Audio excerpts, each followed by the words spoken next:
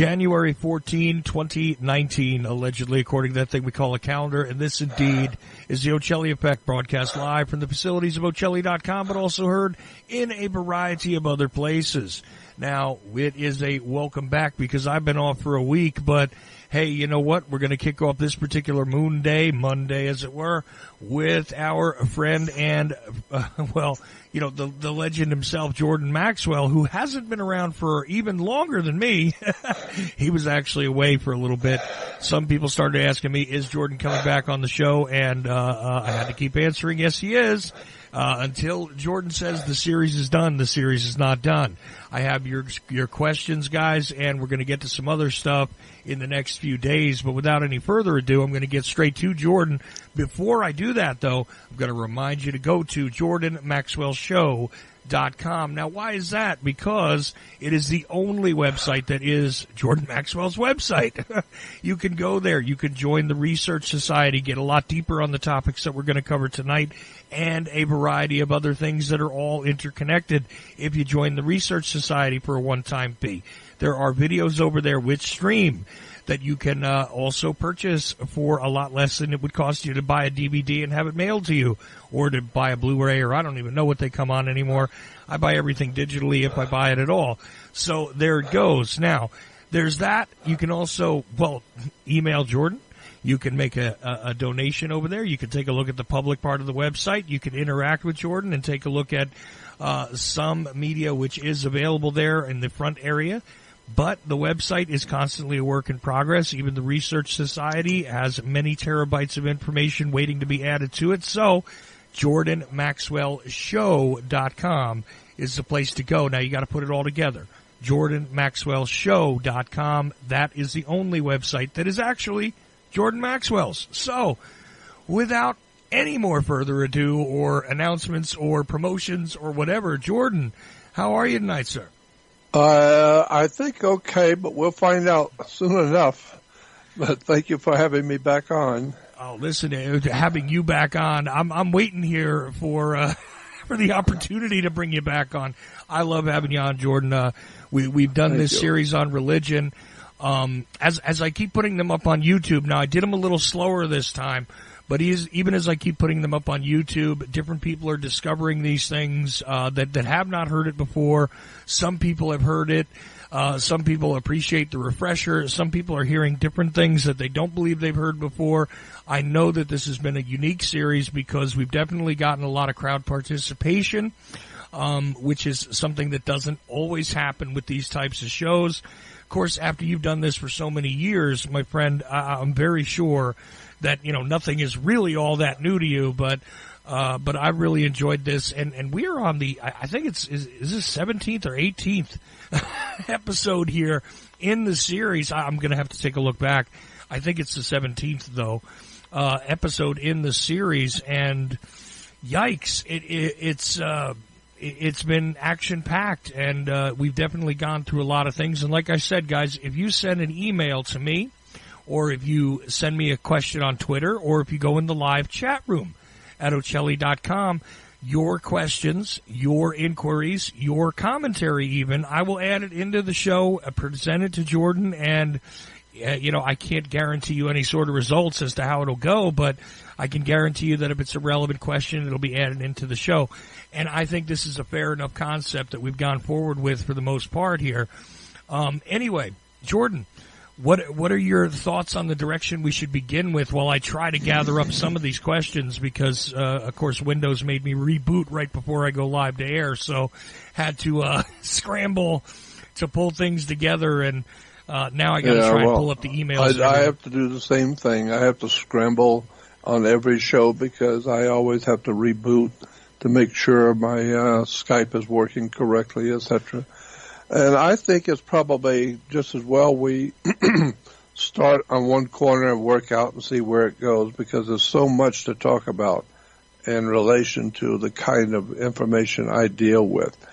I've always been interested in mysteries and and uh, history itself is a mystery without understanding how history works, where you know secret societies and fraternal orders are working all around us.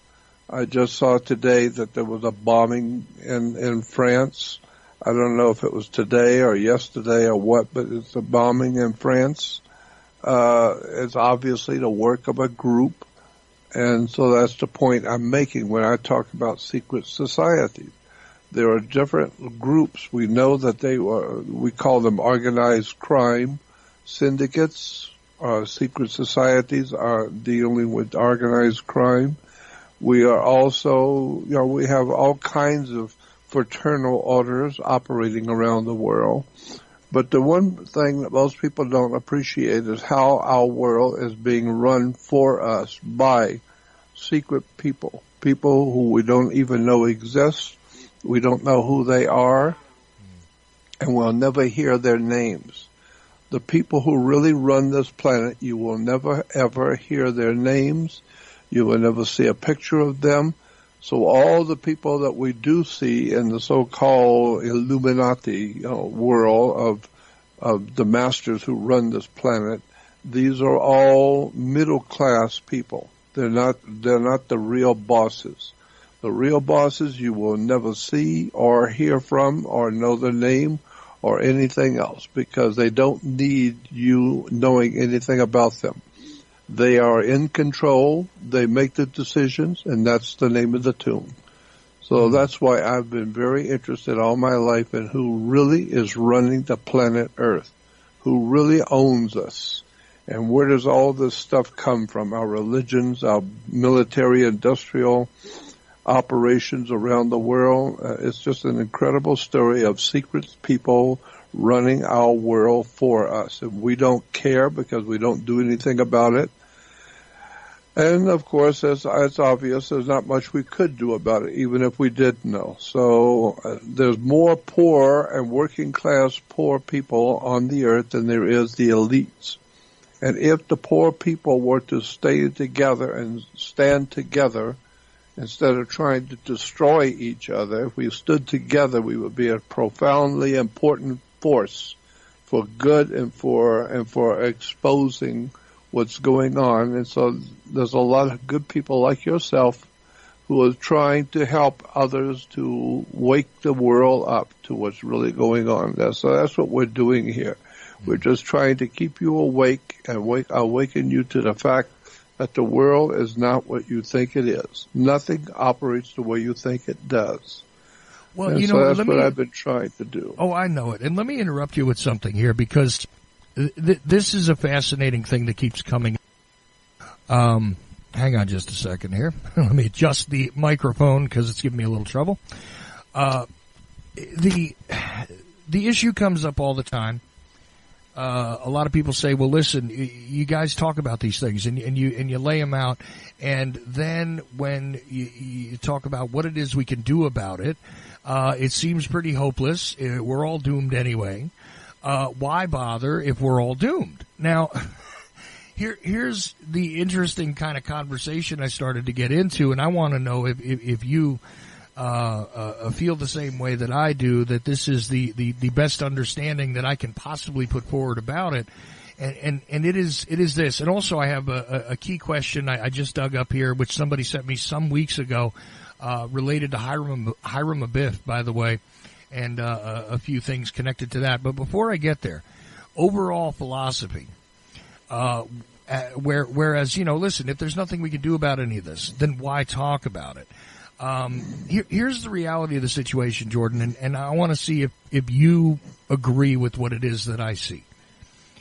At any moment, in truth, um, there, there is a huge difference between what can be done and what will feasibly be done on the planet.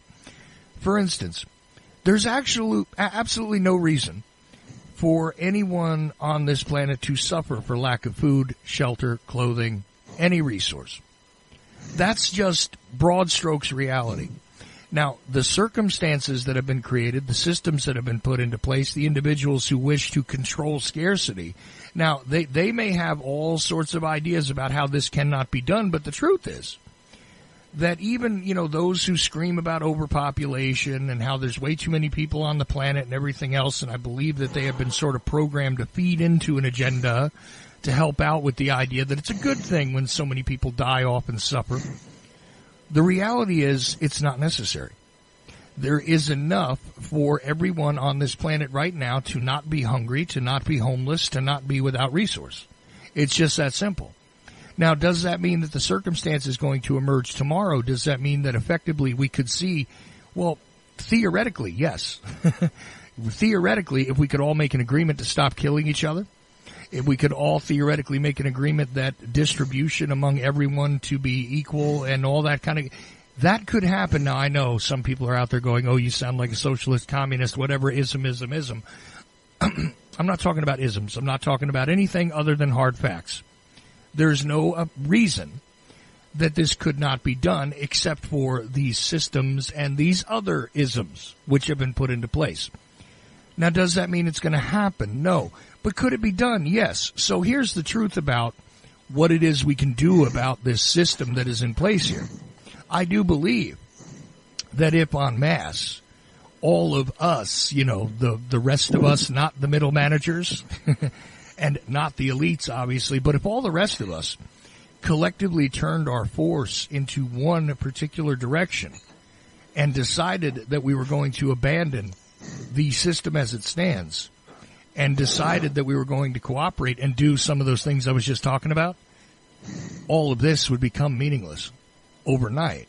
Could that happen is another question entirely, but is it something that theoretically could be done if you could? Yes, it is, isn't it? So it's kind of a hard place to be in when you see something that can be done. But is it likely? Is it really truly possible in the world in which we live? Well, that's another story. Is that one of those struggles you kind of have internally every now and then where you got to say, well, listen, I know that we can change all this overnight, but will it get done? Can it really, the, you know, feasibly, realistically get done? Is that something that you go through as well?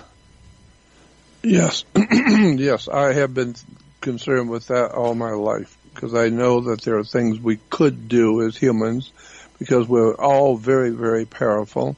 Uh, even the scriptures showed that. Even God saw that in the in the Bible. It said that man, says God looked down from heaven upon the earth and saw that the thoughts of men are bad all the time but that uh, at the time when they were building the Tower of Babel, God said, if you leave mankind alone, there's nothing he can't do. And, you know, he can do whatever he wants to do. And so you divide the language so that, you know, he can't do what he wanted to do. You divide the language at the time of the, of the building of the Tower of Babel because whatever it is that mankind collectively decides they want to do, they can do. Mm. And uh, we've decided a long time ago we want to go into space. Well, now we're in space. We're out there doing things that we are not even told. The people are not even being told what we are capable of doing and are doing right now in space. And so I think, yes, we could change the world. But the last time we actually had a legitimate a legitimate way to actually change the direction of the human family was back in 1770s when the founding of the United States of America. Uh, it was um, Thomas Paine, the guy who actually came up with the idea and promoted the idea of an American Revolution and come up with the idea of signing a Declaration of Independence and a Constitution.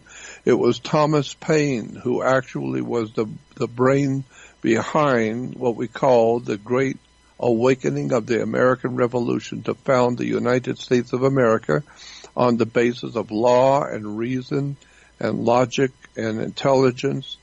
And, uh, and he said, Thomas Paine wrote that we now in 1776 with the founding of the United States of America, he said, we now have the opportunity to completely restart the whole world over again because they realized that uh, setting up a country that was based on the freedom of the individual and protecting of individual rights of individual people, that the freedom of mankind would explode all over the earth and it would change the whole destiny of the human race if we were allowed to be free. But this is precisely what the European royalty did not want. They're not interested in their slaves being free. And, and so that's why, that's why Martin Luther King was, one of his famous quotes was that slaves have never gone to their masters and, and asked for freedom. They don't do that. The only way you get freedom is you take it. You, you demand it. You demand your freedom and you do something about it. And that's what happened in 1776. A lot of people decided they'd had enough of European royalty with kings and queens riding around in golden chariots and flipping their cigarette butts on you and your children. And uh, so they've decided they've had enough. Uh, and that's what you know, Thomas Paine said, we have in, in our hands now the opportunity to start the whole world all over again because they believed that there was a God who was divinely orchestrating the founding of the United States of America on the basis of human dignity and freedom.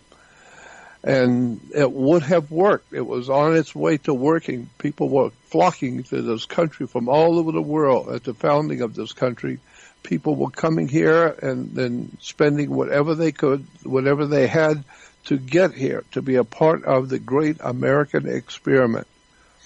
But the only problem was is that the laws did not stick.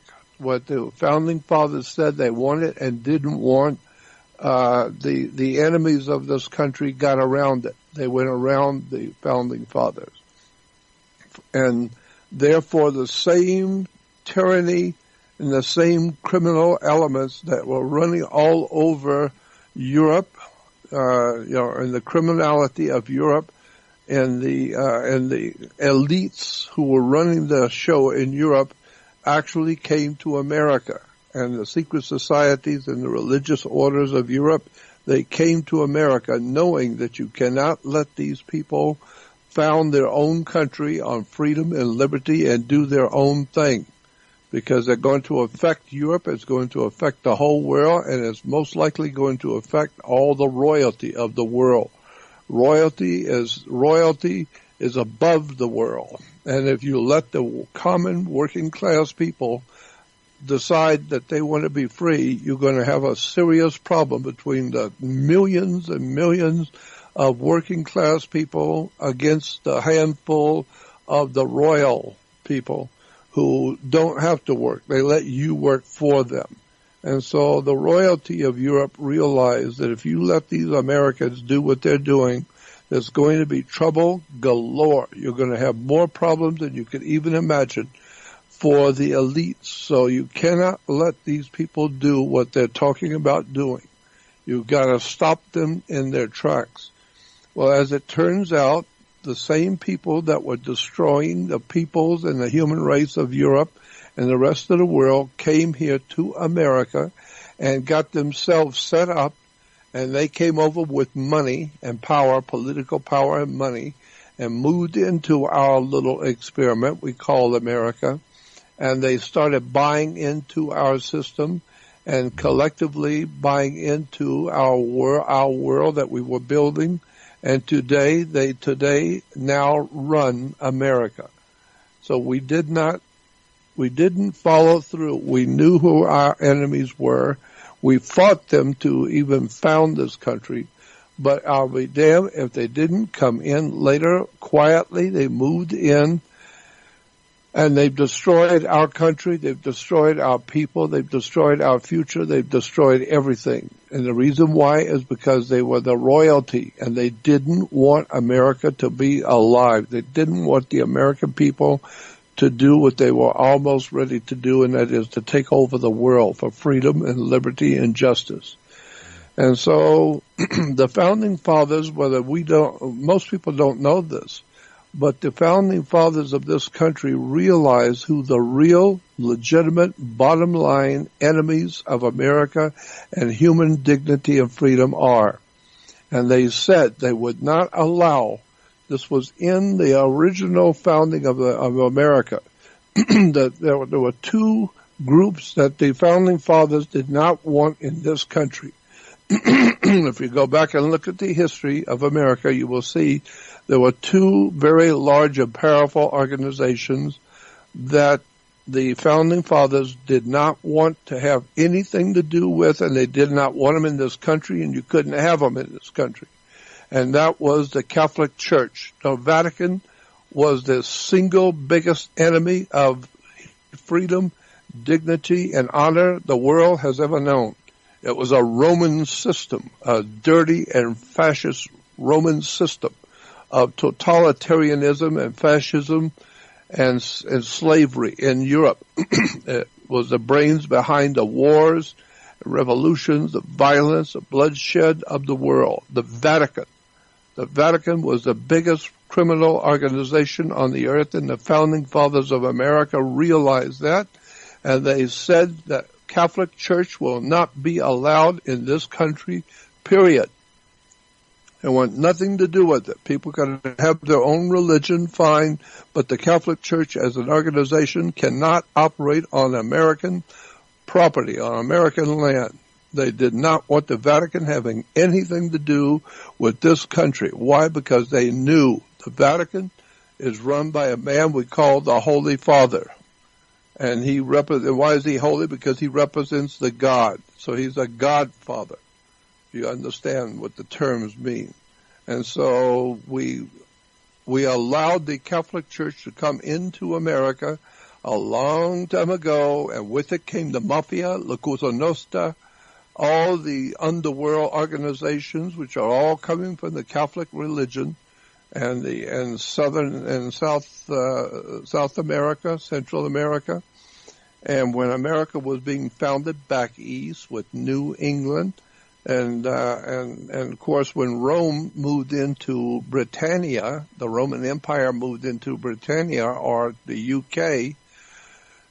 The center of operation for Rome in England was York, England. York, England was the city where Rome officially uh, run the, U- the United Kingdom. So Rome actually was dominating the United Kingdom, UK and and the city where Rome operated from was called York, England. And so today we have something called New York. New York is the empire state. It represents the Roman Empire. It's the empire state in New York, the dirtiest, filthiest political underworld organization of, of organized crime the world has ever known. It is out of New York that the Communist Party has come. It's where the drug running and the drugging of, uh, of Western civilization goes through New York, the international banking cartels, all of the pagan, filthy, and dirty religions coming out of the Roman Empire, the whole entire complex that we call the United States government today is a Roman fascist Jesuit system of tyranny, and people do not know, they have no idea in the world what is going on in religion on the earth today. All we know is that we just do what we're told to do because when we're born, we're brought into a system and we grew up in a system. We never questioned anything. We didn't know anything. And it's just as well we didn't question anything because the adults around us didn't know anything. So nobody can tell you and the very few people who were wise and well intelligent and uh, intelligent and wise and well informed who did know they will be killed off. Slowly but surely they will be thrown into prisons and killed off by the conspirators who are trying to overthrow our great country. And this is what's going on today. New york is a center for all of the filthiest dirtiest stuff going on on the earth today. It's the empire state, the Roman Empire. And today the empire state is now in decline, just like the Roman Empire was in the fifth century. We are now, as America, in decline. We've lost our freedoms. We've lost our our basis for operation. We've lost our industrial.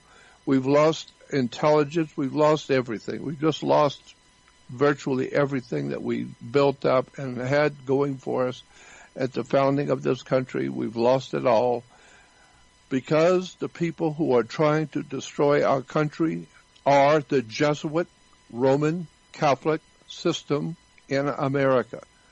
You need to wake up and find out who your enemies really are. The Pope wears a Pope's mitre, that strange headdress the Pope wears. It represents a, a god named Dagon, D-A-G-O-N. Dagon was a Phoenician Canaanite old ancient god from the from the ancient world four or five thousand years ago has nothing to do with Jesus, has nothing to do with Christianity whatsoever. The Vatican does not represent Christianity or Jesus. It represents Rome. All roads lead to Rome. Our governmental systems, our corrupt societies, our corrupt laws, drug addiction, alcoholism, murder, violence, wars, all of the corruption of the human race is now centered in New York, the Empire State. And therefore, we now have the United Nations, a conspiratorial apparatus to destroy individual countries and peoples all over the world. United Nations, the country itself is dying because of the UN. It's an incredible story about betrayal and how we got into the mess we were in. And I don't think there's any hope for us to get out of it because the people love the holiness of the, of the church. They love to go to church and worship the Lord and, and they think that they're doing something wonderful and holy and it makes them feel well, it makes them feel good, never realizing for a moment what the church really is, where it really came from and how it grew out of the Roman Empire. And today, Washington DC is in fact the center for the new Roman Empire. And the brains and the money and the, and the organization comes out of New York, the Empire State my God, what a story there is to tell if people would wake up, but they're not going to wake up because they would much rather have their, their religions and their holiness, like the Bible says, you have chosen for yourselves your teachers.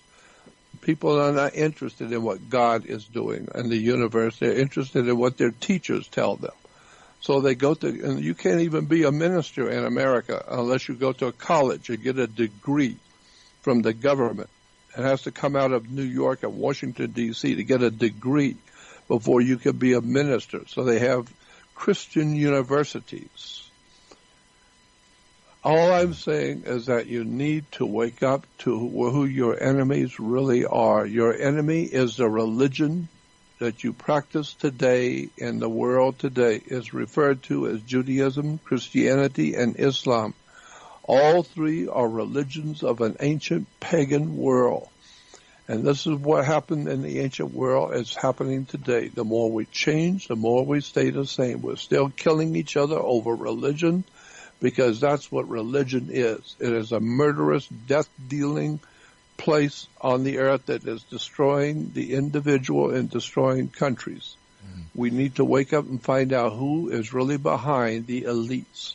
And who do the elites we you know we talk about the Rothschilds. Well, the actual history of the Rothschild banking family is that they were the bankers for the Vatican.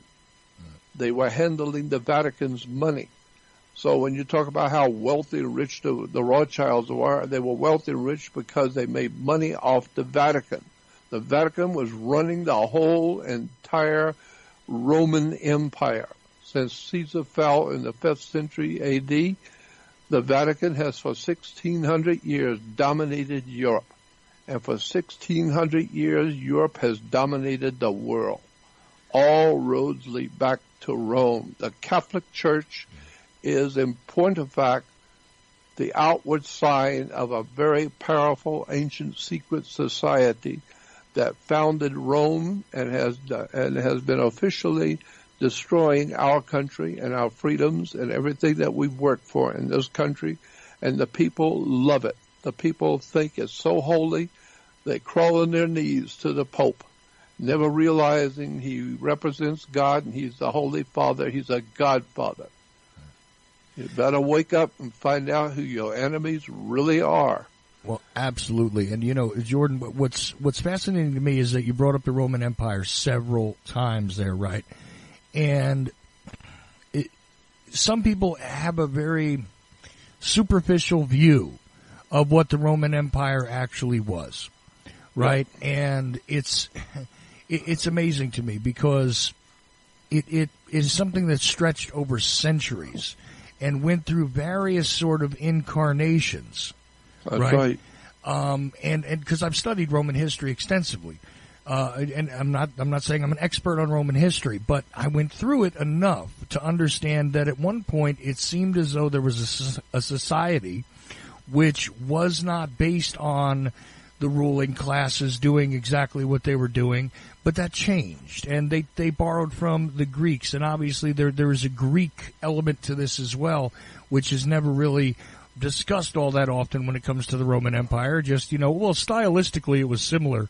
Uh, no, there, there's something else going on there. Uh, That's right. It, it, and there's a legendary sort of uh, mythos connected to the, the formation of the nation state of Rome. Uh, you know, the just like a lot of other nation states on the planet, apparently, huh?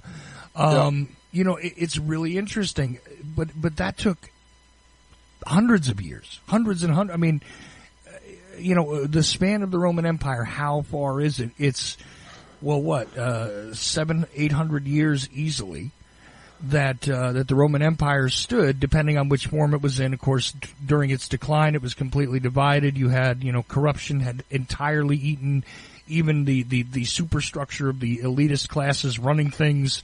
Uh, you know, e- even that was in de- everything was in a downward spiral by the time we had the Eastern and Western empires, right? right. Um, various reformations. We've seen that happen to what we call the United States, but it's only been 200 and, you know, less than 50 years, right? It's, it's almost a, like say one third or maybe even a quarter of the time of, of the, the, the Roman Empire's existence that the United States has gone from this mythical formation. Uh, and, and, I'm not even stating that the, the history, because here, here's the problem with Roman history. It's very difficult to unpack because I think they've hidden a lot of it. It seems as though, uh, unless you're culturally connected to certain things, you don't have a lot of insights as to what went on. It's That's been, right. uh, it's been glorified unnecessarily in some ways. It's been sanitized. Oh, gee, wait a minute. You know, same thing has happened to American history. So it's very difficult to really follow what happened here.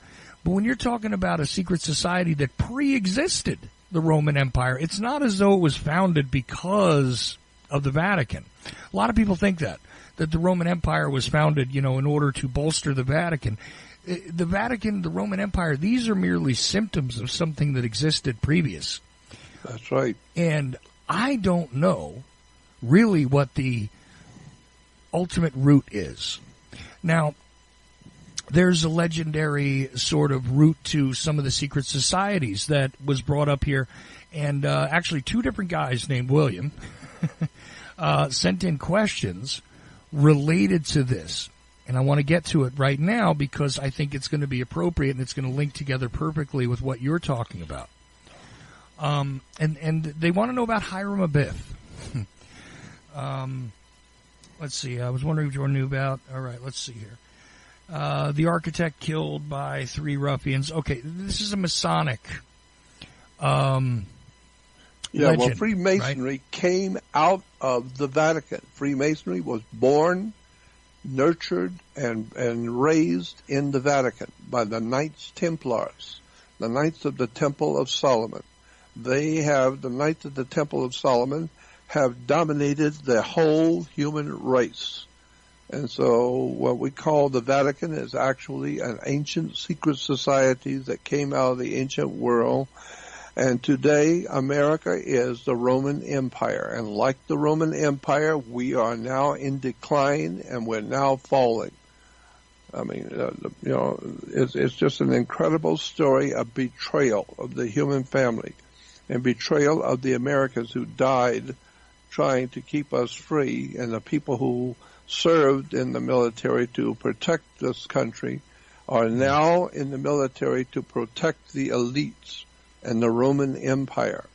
They're not doing anything. The, uh, the military in America are not allowed to do anything to protect the American people. They are bought and paid for by the government that runs the world. They run the earth out of New York, the international banking cartels. And boy, when you start getting into the history of a world that we live in and where the wars have come from and who finances them and, and what the military today is doing in America, they're not doing anything to protect the American people. The military in this country is a disgrace because they have been taken over by our enemies.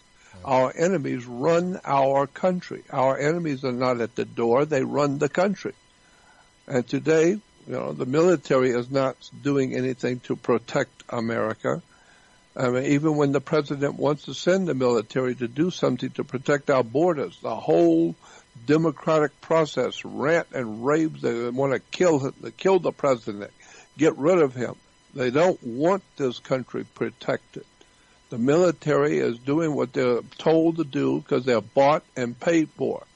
Mm. And they, and this is why I, I, I'm just amazed at what we call the uh, Joint Chiefs of Staff. Who are these guys we call the Joint Chiefs of Staff? The heads of the Army, the head of the Navy, the head of the Marines, the, the Joint Chiefs of Staff.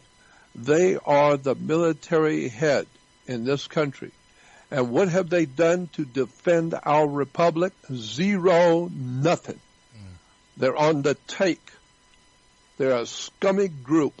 As far as I'm concerned, the, the Joint Chiefs of Staff represents treason in America. Where are the troops to protect the American people from the enemies of America? They just they just wine and dine themselves and get their stars and little brownie points and wear their little badges and do zero nothing to protect the American people from the enemies of this country. And it's extraordinarily incredible that the people today in America do not see that the military is out all over the world for the elites who run this operation we call America. The, and the military is out all over the world doing the will of the elites who run this country from behind the scenes. The secret societies have the power to to control the military industrial complex. Right, and, and this is why when you ask yourself, well, well, this is why when people ask themselves, I, it doesn't make any sense that the military is doing this. Well, th- that's because you're still thinking that the military is there to serve and protect you. That's what your problem is. Uh, because otherwise, if you if you stopped thinking of it that way, you might it might make a whole lot more sense as to why we're going into certain nations and doing certain things. Um, and and here's here's the thing about that. Beyond the military, though, and and one could uh, again you can draw corollaries throughout the uh, the the rise and fall of the Roman Empire to exactly what Jordan's talking about. I think that would be an interesting discussion one day to have the uh, you know the the comparative timeline between the United States and uh, and and Rome as it were. Yep. And, uh, uh, you know, hey, look, uh, century one to century three, okay, that really represents the first, uh, 50 years of, uh, you know, of, of uh, America's existence. This kind of thing, I'm not saying that that's a direct correlation. I'm saying that as an example, that would probably be almost right. Um, but, what's interesting here is that, th- that's all true. But I want to get to this because th- this is a, a, multifaceted question here, and it links again uh, to, to the fact that you're talking about the Knights Templar and you know which, which were the, uh, the, the guys the, the, red shields, if you is so to speak, uh, mm-hmm. the, uh, the the Red Cross, which we still see today on the white background. Uh, those guys, okay. Well, here's the thing. They, they want to know if freemasonry actually comes from a christian uh, uh, facility. And as you just stated it comes from the vatican. So there's that. Um, let's see also uh, on a side note they're asking about uh, certain things that they've read in esoteric volumes that uh, have occasionally leaked out of the uh, the the you know Freemason book collections, if you will. Now, I've seen one of these Bibles, uh, Jordan. I've only seen one in one person's possession in my lifetime, but uh, fascinating thing. Have you ever seen a Freemason Bible? Oh yeah, I've got one. Yep. Okay, so you know you know what I'm talking about. Uh, it, it is it is nothing like the Bible you find in your church. Uh, just nope. so you know, uh, wholly different uh, illustrations and style to it. Jordan, wouldn't you say? Um, yes. But they they ask about Hiram Abiff, the connection to that, the connection to the uh, you know, to what is encoded in the Bible uh, of the uh, of the Freemasons about him. Is he just a, a, another figure very much like the Moses figure? Um, who they're also asking is, is that character uh, more of an Islamic figure than a whatever? I, I, think that you, you you have exhaustively gone through that in the past uh, on this show, but if you'd like to address it again, uh, but but what what of the figure of Hiram Abiff? Do you figure that that is uh, yet again another made up sort of character? Yeah, of course. It's just a made up uh, myth. It's just a made up story, just like all the great stories of religion today are all just uh, as I've said before. They are stories. They are metaphors. They are symbolic metaphors, symbolic stories that are trying to tell you something. They're telling you something in secret. And so all the stories in the Bible, I believe, are metaphors. Mm. And and I've said this before, I'll say it again, and you can think what you want. I don't care what you think.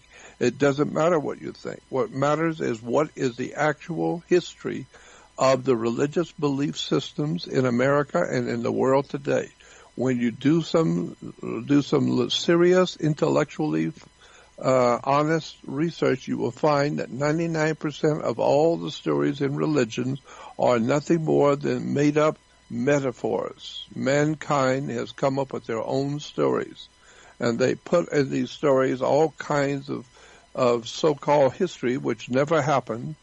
And, and today we are living by these same metaphors and symbolic stories that never happened.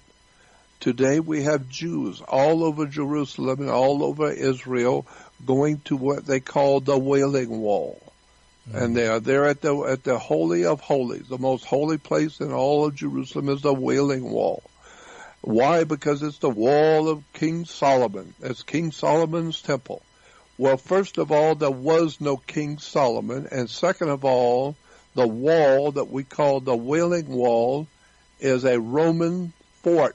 The Romans built that wall.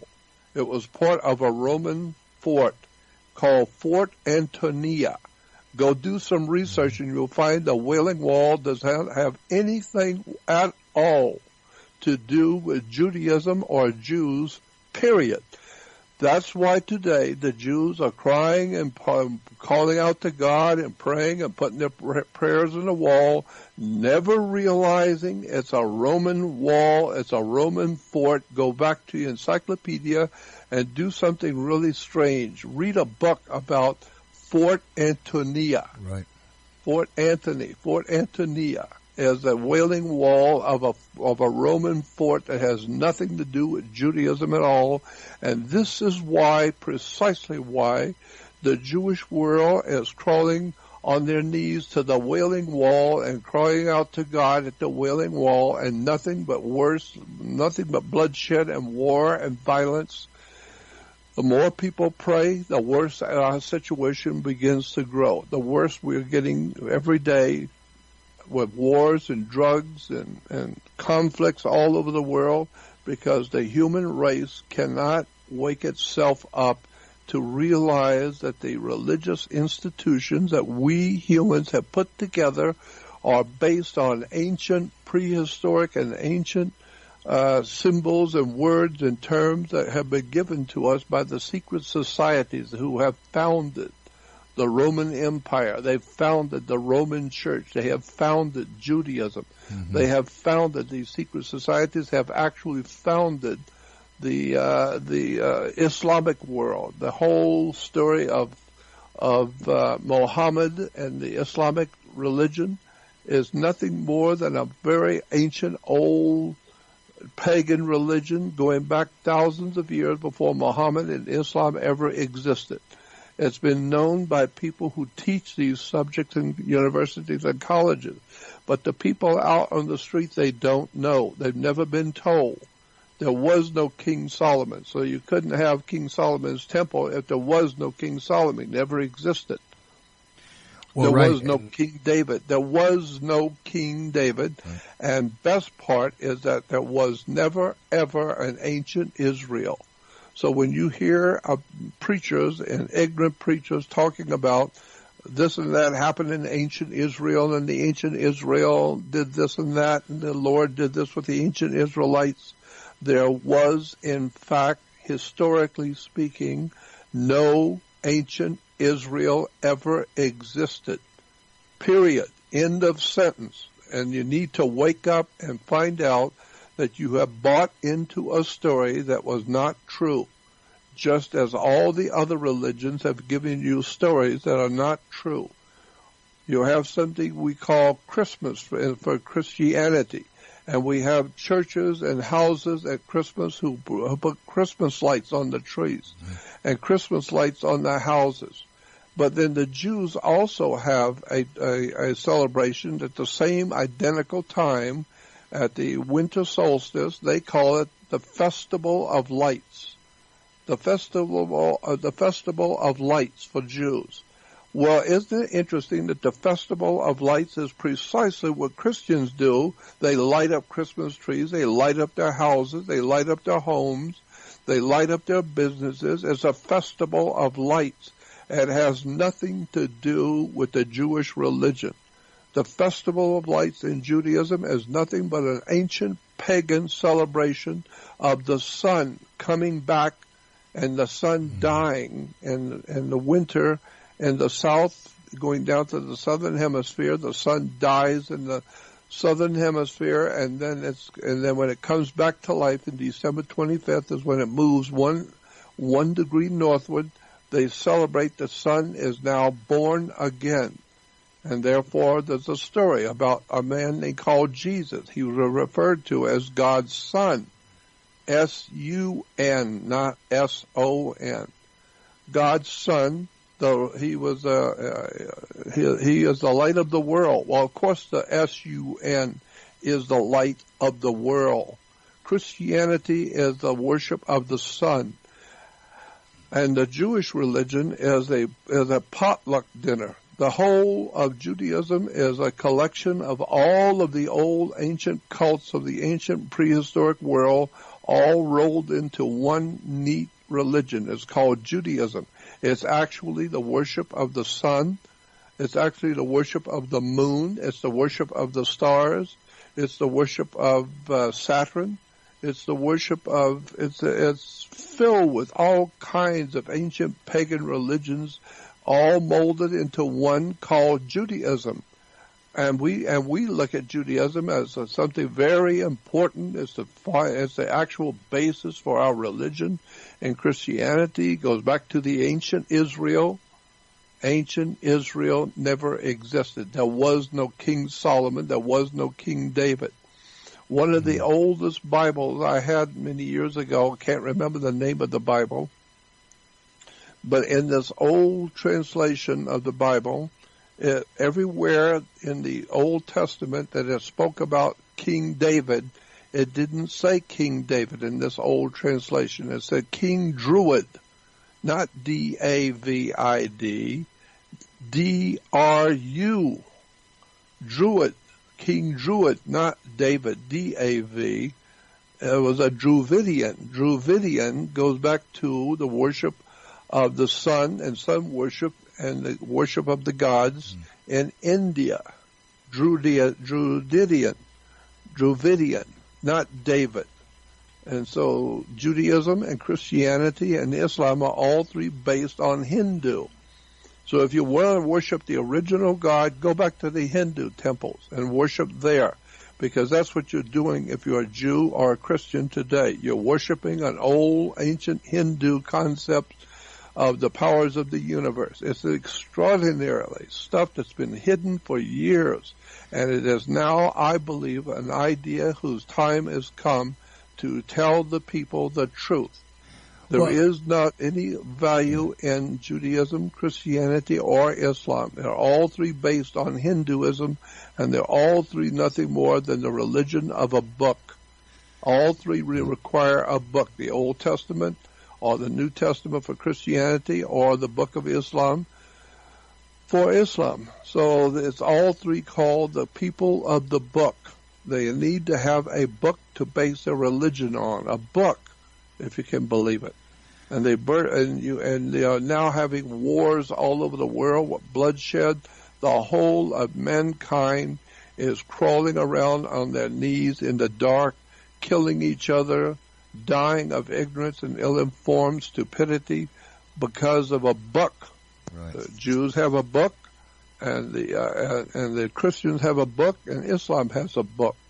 They're called the people of the book uh, you just need to do some homework. You need to go onto the web and look up ancient pagan religions and find all the things that you believe in your religion today came out of India, came out of Egypt, came out of the Middle East. Uh, what, what a story. It's about time that people wake up. I've been trying to tell people what's going on on this earth and I've tried to do it tactfully. I've tried to do it without hurting people's feelings or or you know or causing them any hurt by telling them the truth. But I'm telling you, there's nothing left now. We've we've just sold our souls to the devil. We've sold our souls. We've sold our country out. We've sold our children out. We've sold our morals and ethics. We've been sold out a long time ago.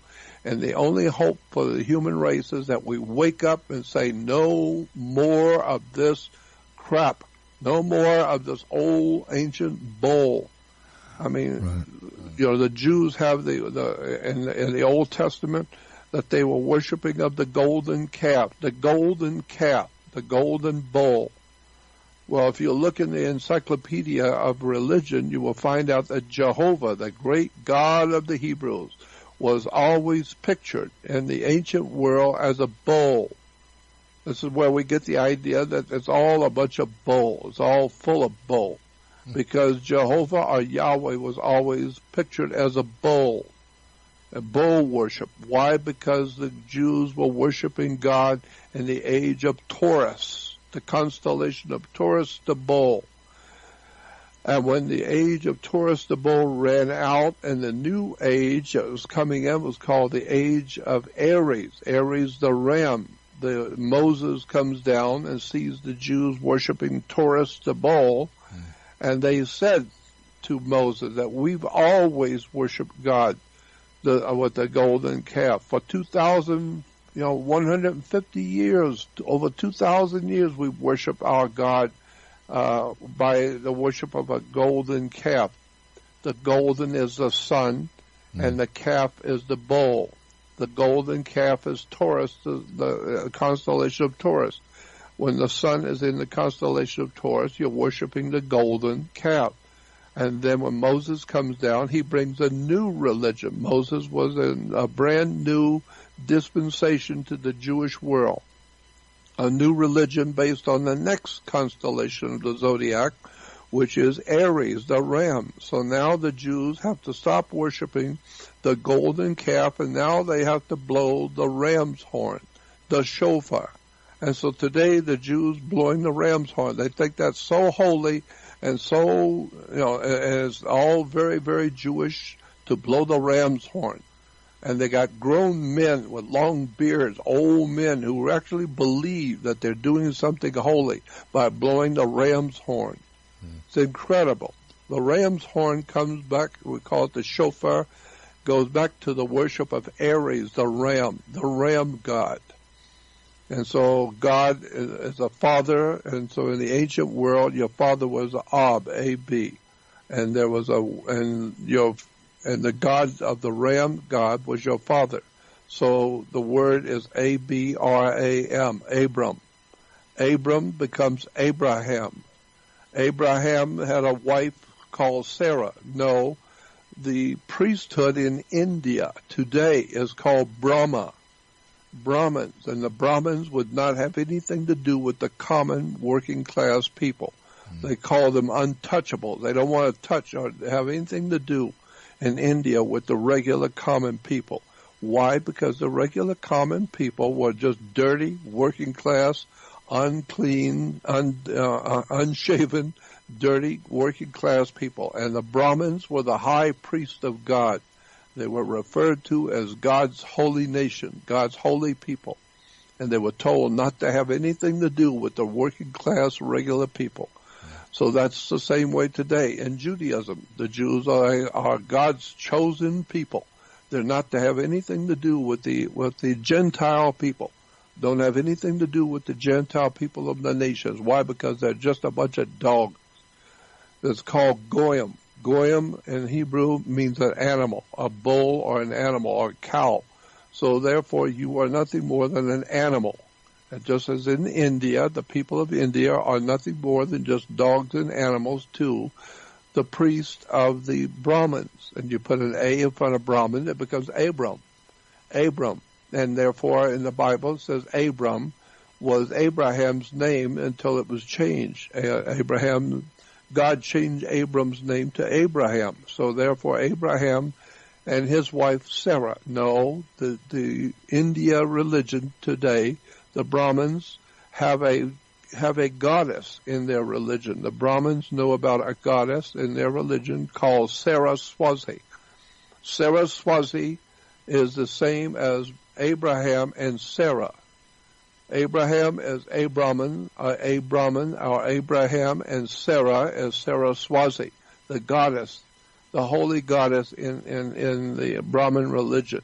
Wake up and understand that the world we call today the world of religion is actually the world of ignorance, ill-informed, unread stupidity, and that's why today all over the world, Christians and Jews and Islamic people are praying for holiness. They're praying for justice. They're praying for peace.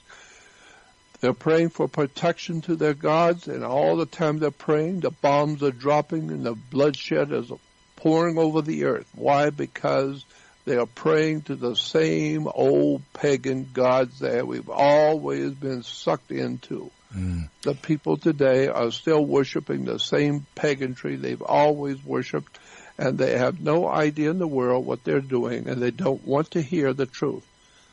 You well, know, even yeah, and and you know what the the bottom line is here is that you know when when you talk about a people that are blowing the ram's horn that are uh, uh, praying to Ares, well, you know I, I do remember in my study of Greek uh, orders that Ares is the god of war. So, uh, you know, and, and meanwhile, when you take a look at the different adaptations, the different uh, interpretations of that same deity uh, throughout history, it, it's the God of war. So you're praying right. for peace to the God of war. Gee, I wonder why there's struggles. And actually, we have questions. And, and, this is a thought that occurred to me many years ago, but uh, but but it's something that has been put into further context with my guest Jordan Maxwell. We're going to take a break here. Uh, but I do advise you to go to jordanmaxwellshow.com to follow up even more on this. We're going to have another hour with Jordan here on this particular Monday, and I'm going to get to these questions about modern times, which Jordan has just uh, intuitively sort of begins right now into. here at Ochelli.com. Of course, this is a Monday episode, and uh, it being January 14th of 2019, allegedly according to that thing we call a calendar, it is an interesting time for certain. Uh, why why would that be, Chuck? What's particularly interesting? Well, you know, you know, current events is not necessarily what we're discussing here today, or are we? Jordan Maxwell is with me. We're discussing religion. We're continuing on with that series. This is part 17. And, uh, you know, it, it's, it's really fascinating to me that people's questions are dovetailing together. Uh, I'm getting groups of questions about what's going on regarding today's events. Well, not necessarily today as in Monday's events, but the events of today in general. The concept of uh, terrorism, the concept of this clash of civilizations, the idea that there is a cultural divide because of these religious precepts and all that. Well, you know what? You, you, you could study this a whole lot more in depth if you go to jordanmaxwellshow.com and go join the Research Society. That's at jordanmaxwellshow.com. I'll provide you guys with the link. Uh, with the with with the podcast, anyways, uh, to make sure that you can go directly and and join the Research Society and go to Jordan's uh, website. Not only that, but there's videos over there which you can uh, uh, download and stream right away. Those are there for purchase for a nominal fee. Uh, you can make a donation. You can send an email to Jordan. You can join the Research Society, but all of it begins at jordanmaxwellshow.com. Jordan Maxwell Show, put it all together as one word, jordanmaxwellshow.com. That is the only website that is actually Jordan Maxwell's. Uh, and accept no substitutions, my friends.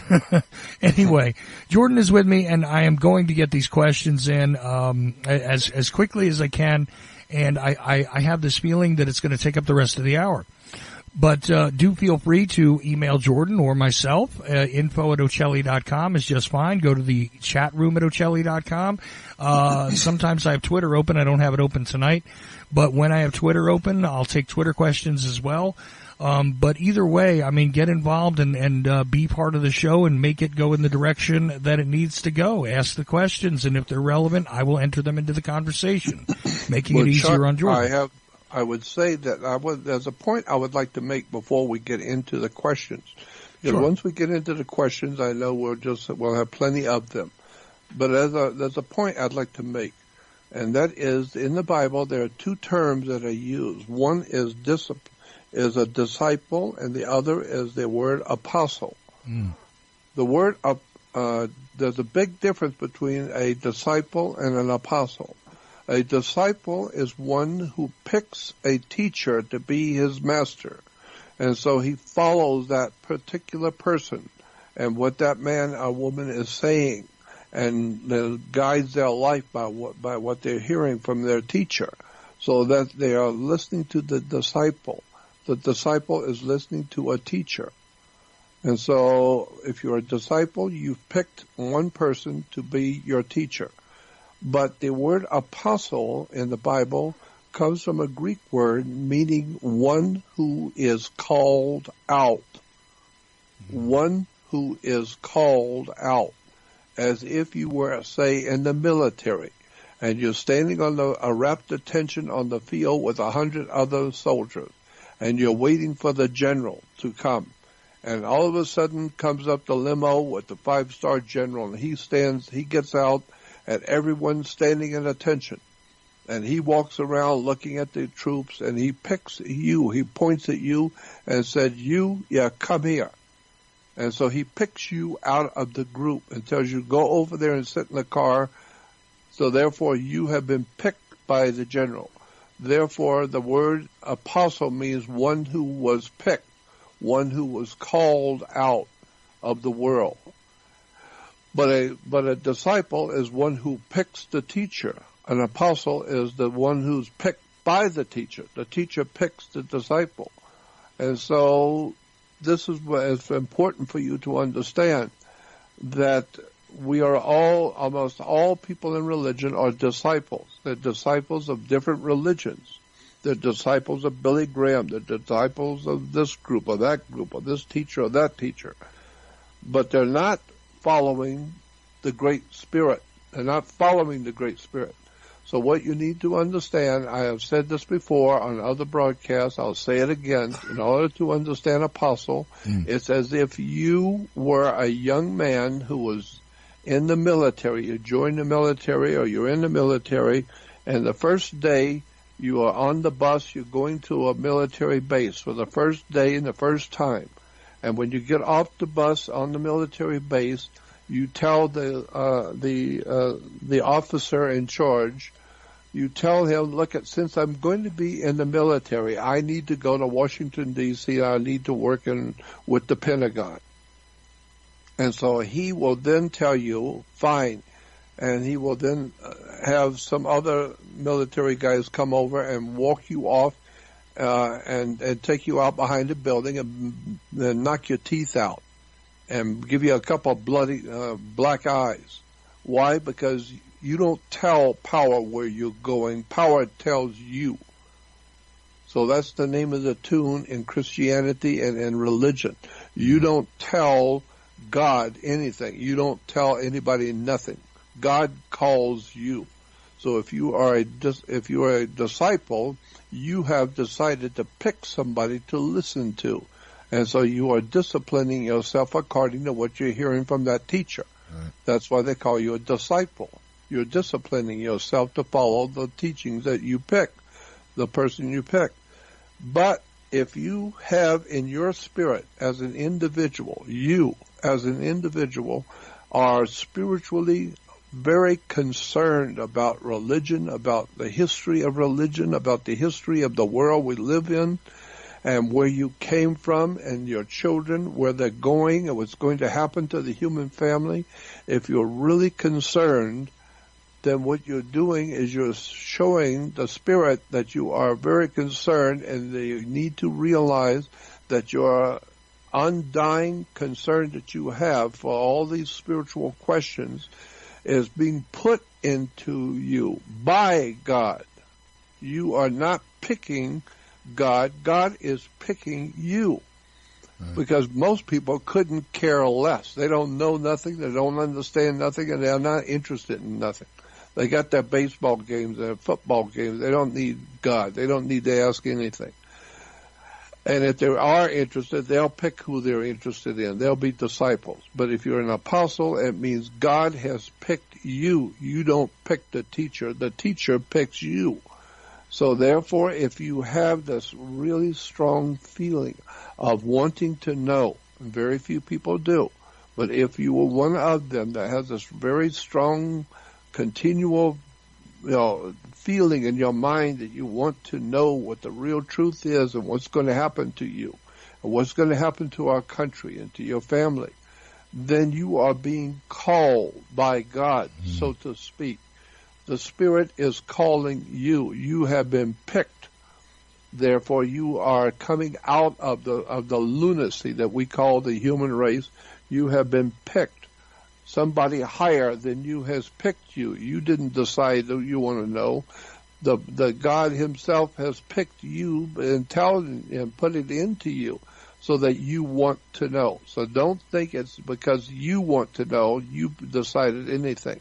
No, the way spirituality actually works. That's why I'm saying that the whole human race cannot be saved. You're not going to be saved. You're only going to be saved from this world of darkness if somebody higher than you wants you to come out. They mm-hmm. want you to listen. They want you to know the real truth. Then you are now continually worried about these things in your mind. It's because God is calling you. Most people are not called. Interesting side note to what you're saying too, Jordan, is that uh, you know quite quite honestly and frankly, the, the, the military is a religious order, and religious order is military. And right. people don't necessarily understand that, but but but let me just throw one thing into the equation here, which everybody knows, but everybody seems to forget when it comes to this. You, you swear an oath when you are inducted into the military, even if you're drafted, you swear an oath. That's right. Um, it, it, if you do not swear the oath, if you go through every other part of the process but do not swear the oath, you're not in. You're not in. Now, this is rather curious, isn't it? So let, let, us remember that both things are correct. And as far as disciples go, I, I, I find it uh, uh, interesting also that uh, some of the people that are, are viewed as some of the darkest individuals who are speaking evil thoughts on the planet sometimes tell us the greatest truths. Uh, you know, you, you have to look at the way the word disciple has been utilized. Uh, j- just like taking a look at that, the name of that fort that the Wailing Wall actually is. Take a look at the name Anthony uh, yep. Antonio and, and Antonin. In fact, all of these sorts of things that are rooted in that word. And no, I'm not going to give you the information. I want you to go look at it for yourself and find out what that actually means. And then maybe you get a greater context as to why people are going to the Wailing Wall. Yep. Uh, anyway, That's exactly right. you know, uh, these things are all correct, and it's interesting because military is one of those things that's discussed often. Um, and and for those that, that say, okay, maybe I'm backtracking on what I've said before uh, regarding this, look, I, I, I do not doubt the honest and good intent of a lot of people that choose to serve in the military. I don't at all. I, I've, I've said that many times. I feel, in fact, that it's a great betrayal that they are conned into doing what it is they do. Uh, but I also feel the very same way about most of these organized religions.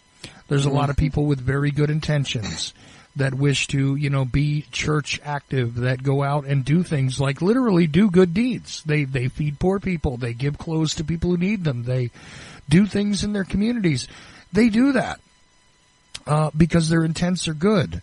They do not know what they are really serving, just like the military people, because it's based on the same concept. anyway. Precisely.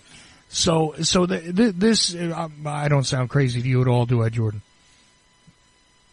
If you remember what Jesus said when he looked at the people, supposedly, in the scripture, he says, Forgive them, Father, for they know not what they do. Mm.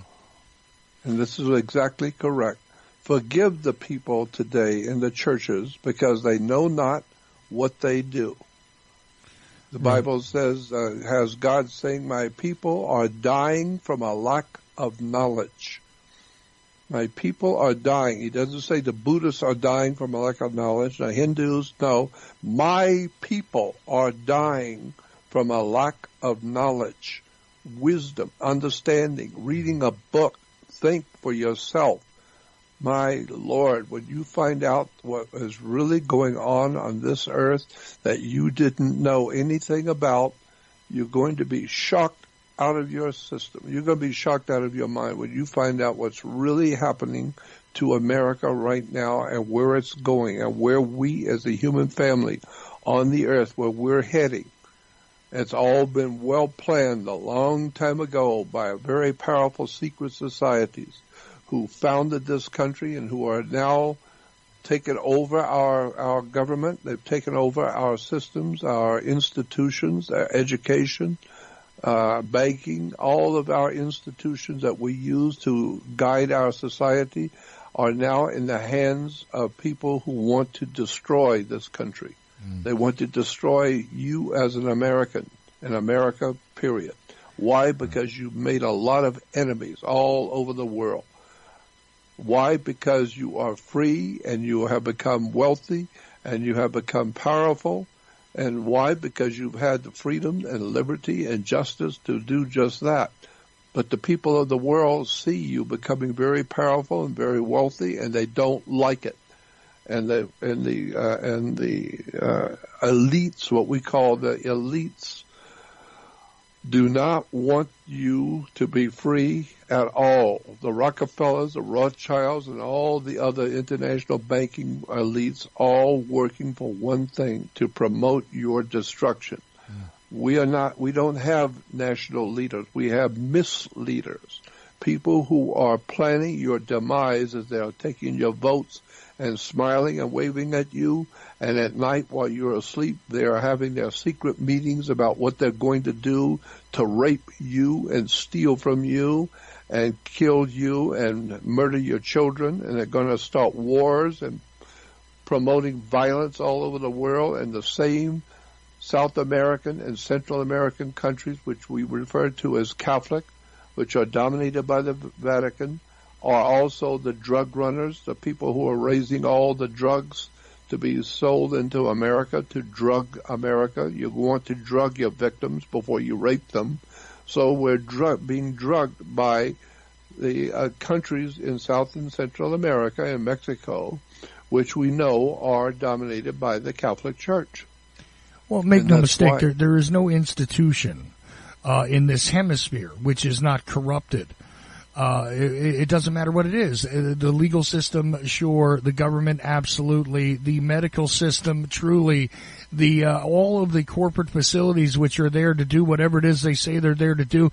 Notice everything has All a toxic element to it that just seems to be there, you know, almost perfectly, uh, you know, lined up with all these other institutions to make sure that there is nothing which is entirely clean or helpful. Everything has a very serious price attached to it. Uh, Oh, sure, we'll, we'll give you cheap food, but it's going to kill you. Sure, we'll give you, you know, medicine in some ways, but even if you can afford it, it's probably going to kill you too because half the time we don't really care what it does to anybody because it's there to make money. The military needs to make its money regardless of whether there is a just reason to defend ourselves or not. Uh, you know, so on and so on and so on. And this is the way it was done, not by accident, not over time, simply because people are lazy, but because this was the design. That's Um, right. It was designed to do that. It was designed to be who we are today. Absolutely. And what's interesting here is, is again, the, the, these questions, and I'm going to tie them all together. Uh, Art and a couple of other individuals have asked about basically uh, the scriptures and modern times. Now, there's a lot of people out there, especially these. I, and, and why did I just chuckle, chortle at the uh, the thought for a moment? Because I just ran a very quick little slideshow in my head of various televangelists uh, really quickly there, and and I, I just you know I, I, I smirk and I, I chuckle at them because uh, they're they're ridiculous human beings, the majority of them. Oh God, Um, yes. So so I was thinking to myself of people like you know uh, Hagee and oh you know guys from the past like Swaggart who I used to find rather entertaining, uh, but you know Jim Bakker, I mean even Billy Graham, all of these guys these major league preachers, right? They always tell you about how, and, and the Jehovah's Witnesses, they'll knock on your door if they can find you and they're not afraid of you. They don't come to my door anymore, Jordan. but, uh, you know, they, they, they learned. Um, but the, the thing is, there, there are people at all times coming to you and telling you that this is the end of days. It has been uh, foretold in the scriptures. They often point to the book of Revelations. They talk about all of these different areas in the Bible that are about death and destruction and the coming apocalypse. Uh, you know, so on and so on and so on, which, by the way, not a story which originated in the Bible. Just so you know. Right. But but here's the thing: Do we see something in the scriptures? Because the, these were not written just as a fanciful story. Do do we see something in the scriptures that appears to be a really good descriptor for what we see related to the church, the corrupt power struggles, the uh, the giant nation, uh, which is the United States. I mean, we are the empire of the world because we are in almost every country with our military presence in one way or another, et cetera, et cetera. I mean, what do do you know of references that you could give to people where it is described in scriptures? Um, this particular time period and well, you know, the time leading up to it and all of that. Like I said, most people will tell you about Revelations or, you know, if you're Hagee, you got your Israeli and American flag together and you think you're doing a great patriotic service, but eh, anyway, let's put those guys aside. Um, is there something that you would point people to that describes what we're watching unfold on the planet today? Yes, yes. Something very important. Yes. If you go on my website, jordanmaxwellshow.com, you will see an advertisement, a little banner saying that you can join my Research Society website. Join my research website and you will find all kinds of documents, incredible pictures showing you all of the profound lies and deception and things that you've been told that were not true. I've been doing this for over almost 60 years now. I've been trying to wake the people of this world up to what's actually going on, and I've I've paid a terrible price for it. I'm now close to 80 years old, broke with nothing. I'm trying desperately to do what I do before I leave this world because I believe it was given to me to try and wake up the people around the world to what's actually in fact happening to the human family, where we've come from, where we are now, and where we're going. And if you go on my uh, on my research website and you join it, there is a there are two places that I think you need to go to first. One is uh, one of the divisions of my research society, you will find I have divided all of the different subjects into different folders. And you check the folder you're interested in and click on it, and it will open up a world of research to you on that subject. And so if you join my research society, first of all, go to the audio video folder. And when you open it up, the very first lecture you will hear is a two and a half hour lecture that was done back in 1966. 1966, almost what? I don't even know how long ago that would be. Over 50 years ago. In 1966, there was a man who recorded a two and a half hour lecture. It was actually over eight hours, but it was boiled down to a two and a half hour lecture on what is going on on the earth with America and where we came from, where are we now, and where are we going. It was the most devastating thing I have ever heard. It changed my life. I was absolutely struck by this lecture. It was the most extraordinary uh, unfolding of knowledge and wisdom I have never heard before about who we are, what's going on with this country, and where is it going. It changed my life instantly. It just shocked me. And it uh, started me because I was already talking about secret societies and giving lectures as far back as 1960 and 61 on the ancient cults and the ancient religions of the world but and I knew that the world I lived in was corrupt through and through, but I had never heard this particular lecture. And so if you go on my website, Jordan Maxwell Show, and you will see an advertisement for my, my research website, join it and go to the audio video, which is the very first one, I think.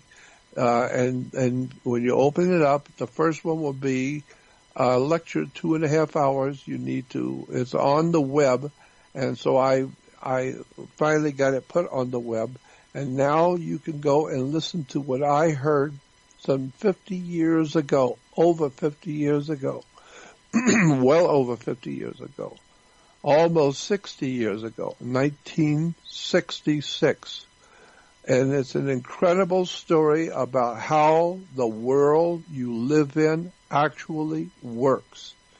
And it will blow your mind, I guarantee you, if you are intellectually honest and if you're educated enough to handle the real truth, which most people aren't, they will hear it and don't know what they they don't have the faintest idea what they're hearing, mm. and it just sounds sounds crazy. But if you're intellectually honest and educated, listen to that uh, uh, that that audio lecture on my website, on my research website, and it will absolutely blow you away.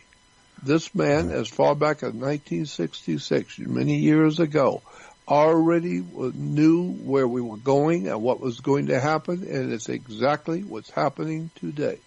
And he tells you who's doing it and how they're doing it and why and who's financing it and where it's going.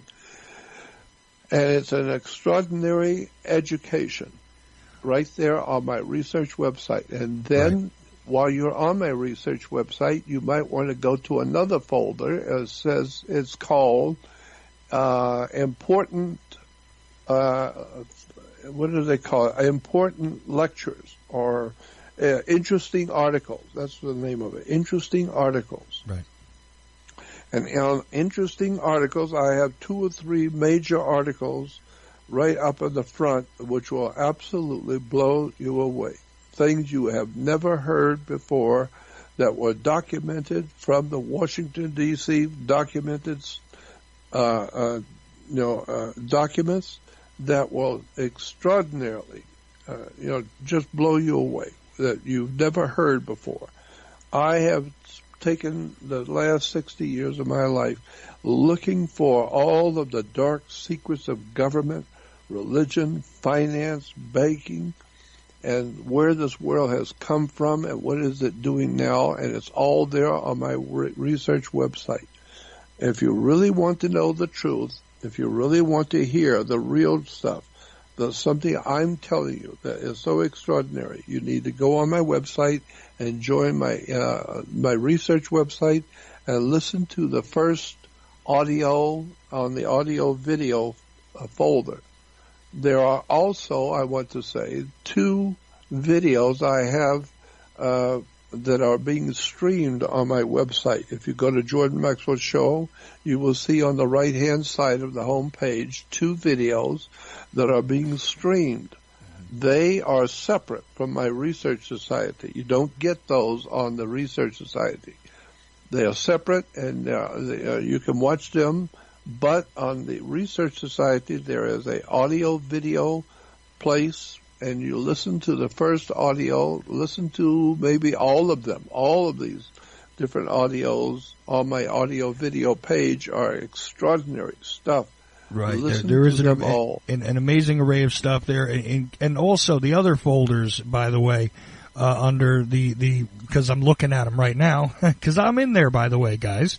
Uh, yeah, I, I actually am part of the Jordan Maxwell Research Society and you guys might really want to consider that if you haven't done it already because the other folders here are called, let's see, bits of history. Did you know? Uh, God's holy word. Have you ever, have you ever wondered? now, these sound like fanciful sort of titles. Um, they're not. When you go in, it's some really interesting stuff. Even the graphic on the page describing something very interesting about your computer is, uh, is fascinating, honestly. But uh, you got highly recommended materials. Um, let's see. Well, you got artwork from you as well, but also there's uh, pictures with a message, uh, quotes of importance. Um, you know, and, and there's uh, different things about religion, different things about history, different things about government.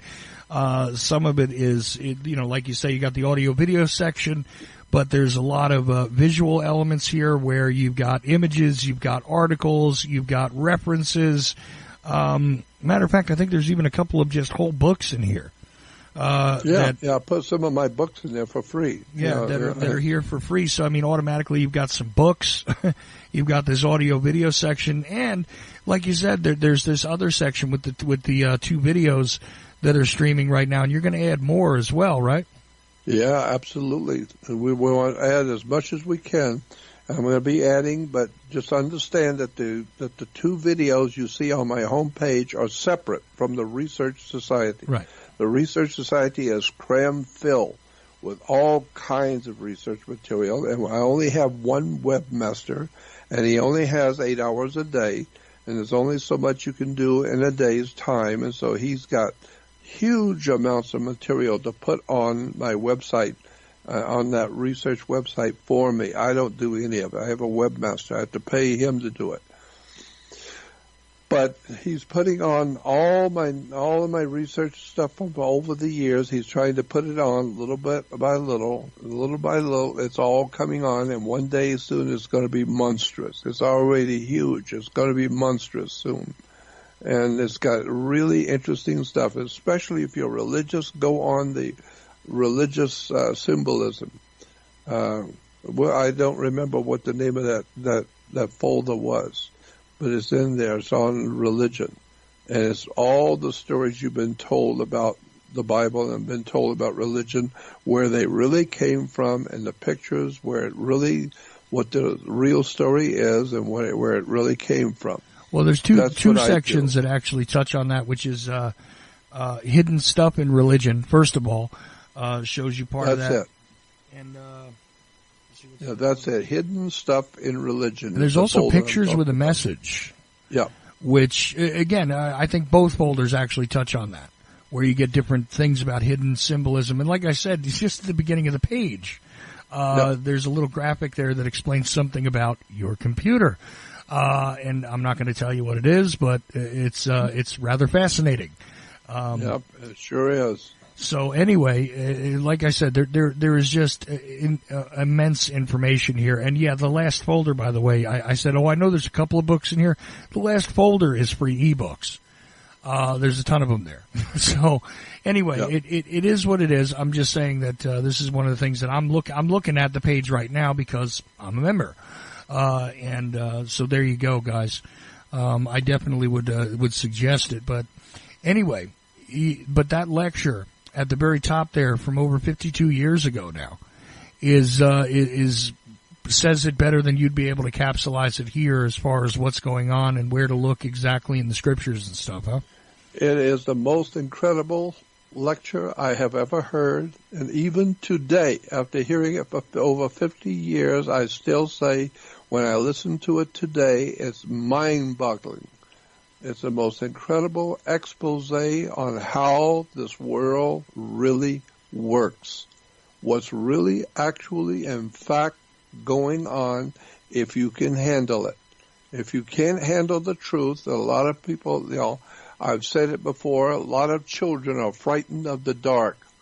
But what's really pathetic is when adults are frightened of the light. People don't want to hear the truth, but if you really want to know what's going on, go to that first that first uh, folder with audio video and listen to the first two and a half hour lecture. And if that doesn't set you back about 10 years growth, nothing's going to. If you're intellectually honest and bright and bright enough to understand what's being said, it's going to scare you to death.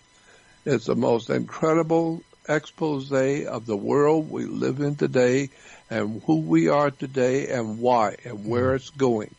This man who did this was an extraordinary mind. He's no longer with us, of course. But what a mind he had. He knew what was actually going on and he told us. For the first time you will find out what the world is really all about. You need to go and listen to it. Right. Now I'm taking a look at that by the way and uh, it says 1967 actually. It, yeah, I, I, I got it in 67, but it was actually recorded in 66. Ah, okay, okay. No, I was just trying to figure that out if, if maybe we were, you know, maybe they need to go to another one, but you are, you are talking about the, uh, the uh, uh, speech Illuminati. from, from yeah from Mr. Fagan, yeah. Yep. Mm-hmm. Okay. No, just checking uh, because I'm I'm looking, like I said, I'm looking at these things as you're speaking about them. And uh, if you, the listener, were also a member of the Research Society, you know exactly what we're talking about. Um, yep. It is uh, it is amazing. And, and then there's uh, also a series there done by another doctor from from back in 1959 and 60 who did about six one-hour lectures, an hour, at least one hour, maybe they're 90 minutes apiece. There's about six or seven 90-minute lectures done by a professor from uh, Wayne State University explaining the world you live in. It's the most extraordinary stuff you're ever going to hear. He explains how the world was built and how we are today operating around the world and for the first time you will see for the first time what's actually going on on the earth. And I knew about this back in 1960 and I kept it and I put it on my research website because I think it's extraordinary stuff that people need to know about.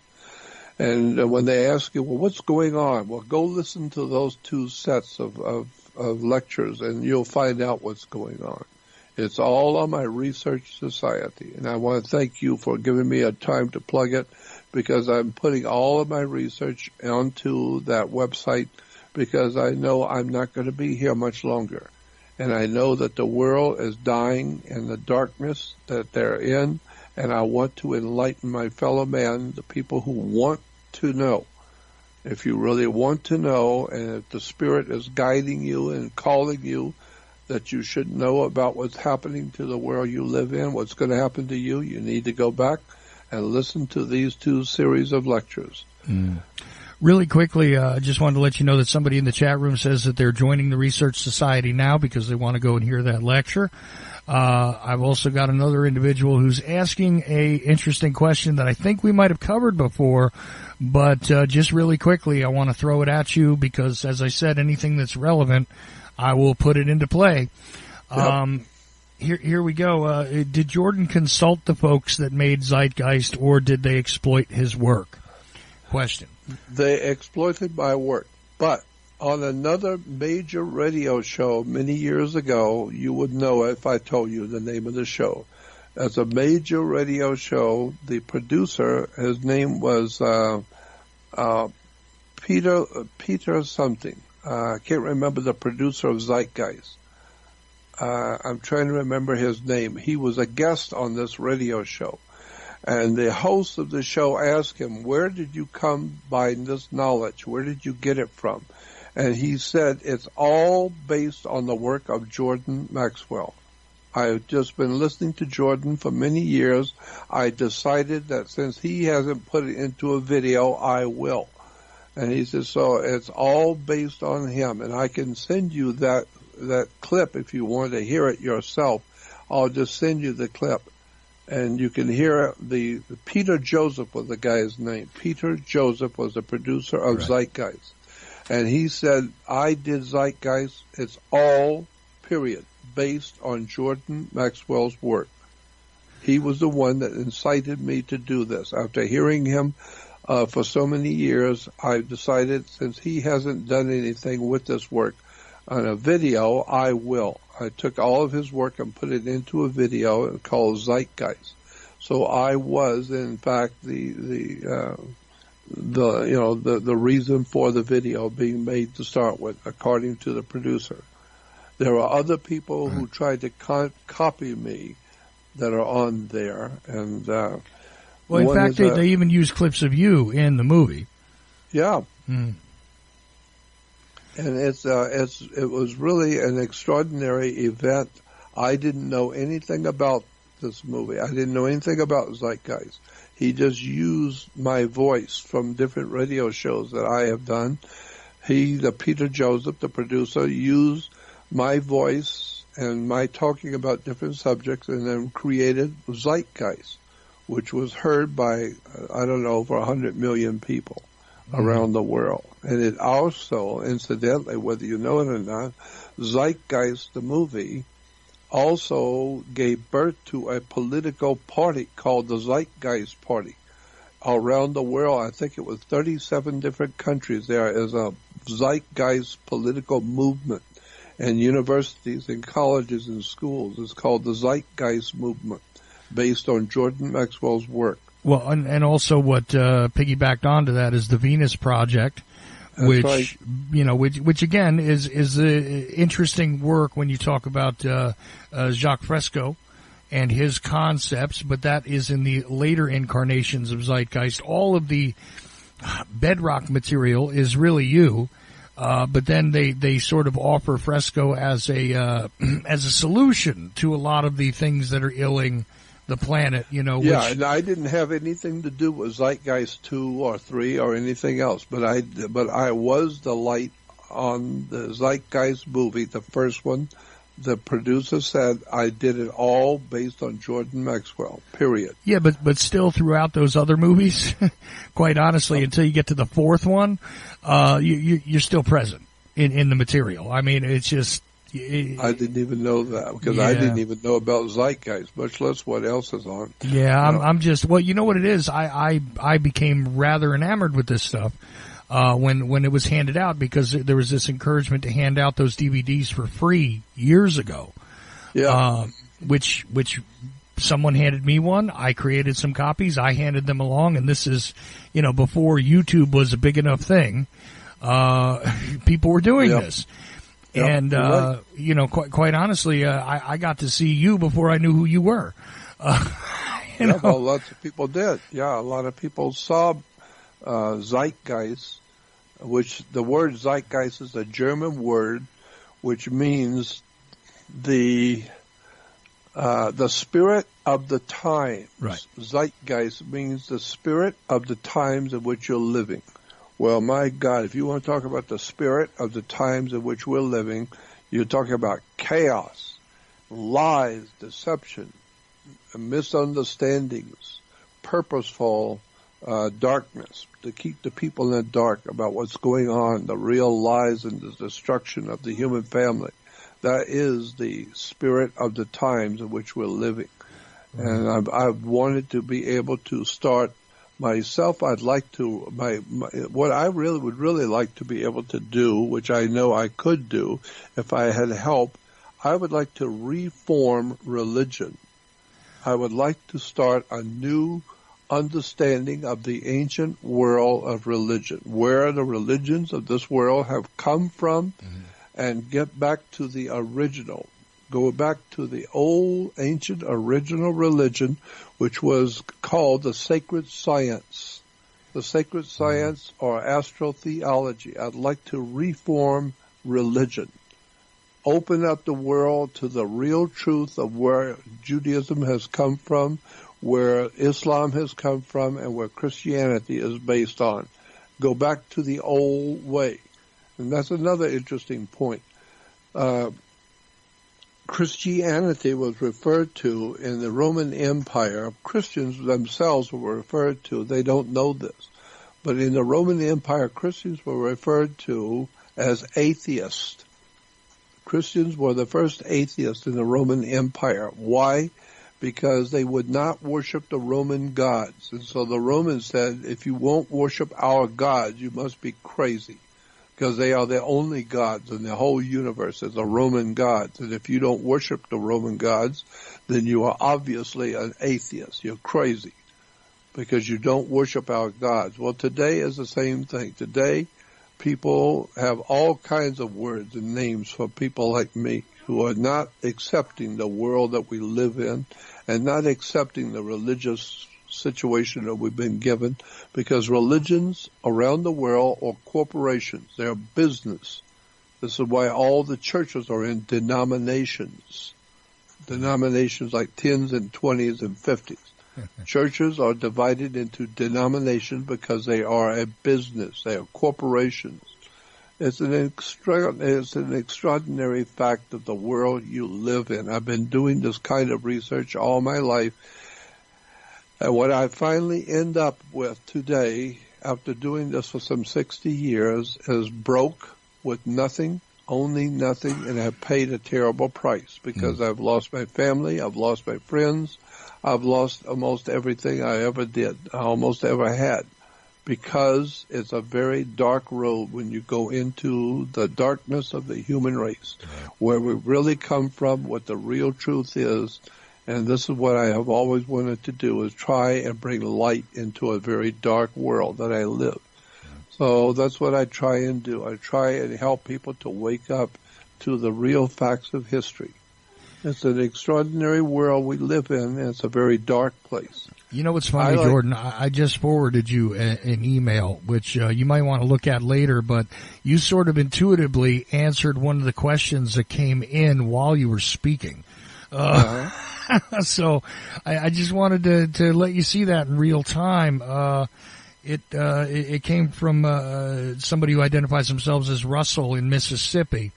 Now, I, I, you know, I don't know, but it's really fascinating. Take a look at the timestamp on that. You literally transitioned um, exactly from one topic to the next and sort of answered the tail end of his email there. There's some praise in there and a few other things uh, about the presentation, and he was hoping to get in for the live show.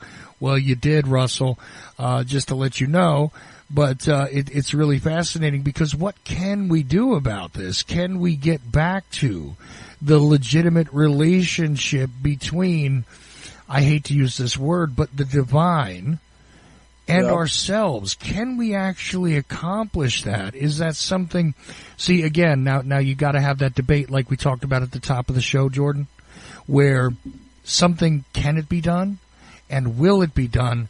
These are two different questions, right?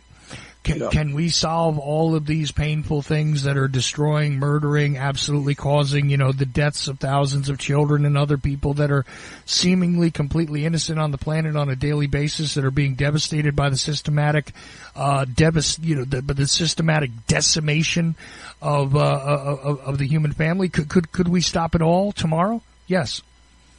Will we?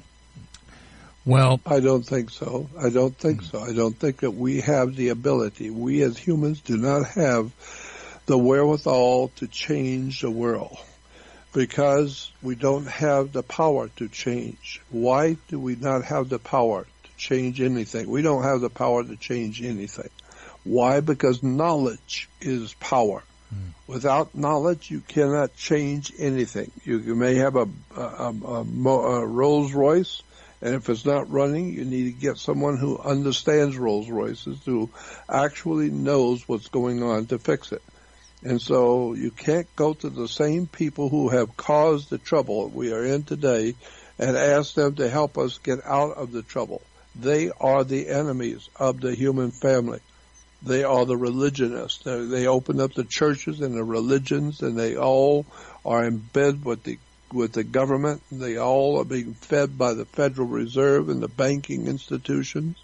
And when you see how the whole world works, which like I said, if you go on the web and go to my website and just listen to the lectures, you will hear how this whole world has been put together a long time ago by the Knights Templars, by the religious orders, by what we call today the CIA in America is actually a Masonic Catholic Vatican order in operating in America today.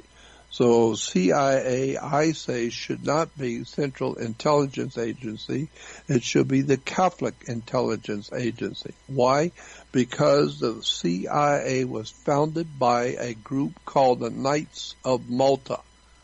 Knights of Malta, which was an incredibly powerful secret society operating in Europe under the Vatican, under the Pope and they were they are still today very powerful today, and some of the most important criminals and Nazi officers in the SS and the Gestapo under Adolf Hitler were members of the Knights of Malta, and they came over here after the Second World War, and they they set up something that they call these Nazis and criminals under the Vatican. They came over to America. We allowed them in and they came over and they set up something called the CIA, the Central Intelligence Agency, as a Knights of Malta Masonic order that's running our country from behind the scenes for the Vatican.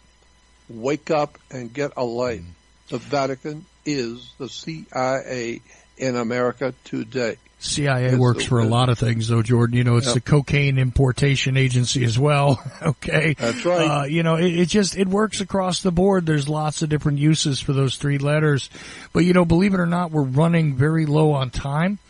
And uh, I want to take this moment again to uh, to remind people that there is only one website that is Jordan Maxwell's. There's only one place that you can get directly the research information. That would be the Research Society, which you can find at Jordan Maxwell's website. And there's only one place you can get videos straight from the man himself. That is all at Jordan Maxwell Show dot com okay and you got you got to put it all together it has to be all one word jordan maxwell show dot com if you go there you will find that there's a public area sure and absolutely. Feel free to email jordan. Jordan loves to hear your thoughts especially about presentations like this uh, your questions not just for the purposes of this show but more than happy to answer them on this show. Uh, i'm sure that jordan would be more than happy to just respond to you if you just wrote to him and asked him some honest questions. He would give you some honest answers as best he knows. Uh, I've even heard Jordan say, you know, I, I don't necessarily know about that. Uh, it, it's rare, but but uh, it, it, does happen. Uh, and and Jordan also, if he doesn't know something, he might actually have somebody to refer you to. So again, feel free to interact with Jordan, make a donation, join the Research Society. That's over on the right hand of the website. Uh, right hand side of the website, excuse me. If you're looking at it on most things, I don't know how it looks on a mobile device. It might be a little different, but I'm sure the link for the Research Society is still there and for the videos that are streaming are there. And it's all at jordanmaxwellshow.com. Um, now this has been the 17th installment of this particular series. And yes, indeed, it's going to continue until Jordan says we're done. so it's just that simple. Uh, uh, you know, hopefully you'll, you'll be able to do this next Monday. Um, yes, uh, and I love doing your show. Incidentally, I'm very happy to be able to do your show. And as far as I'm concerned, I like the idea that it just goes on and on and on because there's all kinds of questions that come up and there's so many things that we need to talk about. And I think this is a great opportunity for me to be able to talk to the people and let them know who I am and where to go to find my work and uh, and you've helped me immensely, and I like that, and I appreciate it. And so I think we ought to do this show on a continual basis. I, I like doing it. Well, I, and I appreciate that. Look, I am more than happy to do this with you all the time. Uh, it, it is uh, extremely educational. I learn something every single show, uh, at least one thing. In some cases, I just remember some things I might have forgotten. It's amazing. Uh, Jordan does this with no notes, no no preconceived agenda. We just come on and look. Whatever questions you guys enter, whatever questions pop into my mind whatever input I drop into this uh, also plays a, a, a, part. And and you ever notice Jordan does not have you know a, a loss for words. he knows exactly what I'm talking about. He knows what you guys are talking about. He know sometimes he's even answering your questions before I get to ask them, as we just found out a little while ago. Uh, take a look at that email, Jordan. I, I think you'll find it amazing that you answered the question. Um, the only thing specific in there, which was interesting, that uh, that I wanted to mention really quick on our way out the door, and I think this is a great closing sort of uh, thing for the last couple of minutes. The idea that uh, you know, should we establish a religion for? I, I, I find this interesting because a lot of people figure, look, you got to come up with literature, you got to come up with a book, you got to come up with a building, you got to, you know, it seems to me like the things that are done uh, sure, there's ways of training people when it comes to the arts, when it comes to practical applications of knowledge in one way or another. Uh, uh, when it comes to navigating our way through the world, making the world a better place, creating force multipliers, uh, you know, taking care of the needs of individuals when it comes to farming, et cetera, et cetera. But you know what? It seems interesting to me that the majority of the greatest wisdom is not collected in a book necessarily. Of course, you can begin with books and you can learn from books, but the collection of wisdom and the ability to truthfully have a relationship with the deity or deities or whatever it is you want to say. Uh, to have a relationship with the source, if you will. It seems to me as though the establishment of a religion is counterintuitive to this um, that eh, that at some point there is a way to teach without necessarily creating things which could easily be corrupted, like a structure that exists in organized religion today, etc., etc. But that's my opinion. What what is your thought about that? I mean, is there a way to encourage people to go back to like what you were saying, where people could unravel all of this and begin to have a, a, a clean connection to the divine, yes. or you know, what what is your thoughts? Well, I think that the Bible says, the Bible in the Old Testament, God says to Israel, you have taken a wrong road. You have accepted, you know, the, the, the paganry of the ancient world. And then he says, go back to the old way. That's a scripture that says, go back to the old way. Mm. And this is what I'm saying that we need to do as people today. You need to go back to the old original way of understanding the universe, the way the ancient peoples knew the things that we're trying to learn today. It's a science. And I'm saying we need to go back to the old way. And there's only a couple of people on the earth who have done that. And I've tried to do that and collect up those people who really are very well informed informed and trying to help people, and I promote them. And I want I want to put that on my website. That's one of the folders on my website. There's important people and links. If you go on my website, the the research website, you will see important links and people. It's the people that I know are very, very bright and important people talking about things that you really need to know about. So if you're going to go out and listen to things on the web, you need to go to my website and find out who the good stuff, where the good stuff really is. So that's why that's one of the things I've got on my research website. People you need to know about and listen to. I'm I'm saving you the time of 30 to 50 years of trying to find out who has the good stuff. I already know who has the good stuff. I've learned from them and I want you to know about them. So it's on my research website. Now again, I want to thank you for having me on the show and I'm delighted that we could do this every week. Uh, I love to do it. Well, a- absolutely. Of course, at the top of that list of people was Manly P. Hall, who we've discussed on this yep. show, who was a friend of Jordan's. Uh, he, he's no longer with us, but uh, a, a, friend of yours. And uh, there, there's an interesting story if you listen back in the archives to this show. Of course, I'm not on that list just yet, but maybe one day, uh, maybe one day I'll get there. Jordan, uh, I, I know that you belong on your own list, and you belong at the top of it, my friend. And uh, I want to thank you once again for doing this. And we will continue the series, but until then, like I said, go over to jordanmaxwellshow.com. Yes, you have to put it all together as one word, Jordan Maxwell Show com, and that is your starting point. You can join the Research Society. You can email Jordan, make a donation to his well-being, because that's the truth of it at this point in time. That's exactly where that money would go if you make a donation to Jordan at jordanmaxwellshow.com. You can send him an email. You can take a look at the public area if you like, but I do advise you join the Research Society. I do advise you get as much Jordan Maxwell as you can because uh, no insult to you, my friend, but there is a limited time that you have left here, and uh, I think that uh, people should. Instead of celebrating you after you're gone and talking about how great you were, uh, interact with you, participate in your well-being, your research, your work while you're still here because uh, that's something I was reflecting on over the past week. A lot of people are celebrated in death. And uh, you know what? I, would much rather celebrate Jordan in life uh, I, I, I will miss him if, if I do, if he outlives me. Uh, if he doesn't outlive me, I mean to say, you never can tell, but, uh, yep. I, I, I, I, will miss him if he does not outlive me.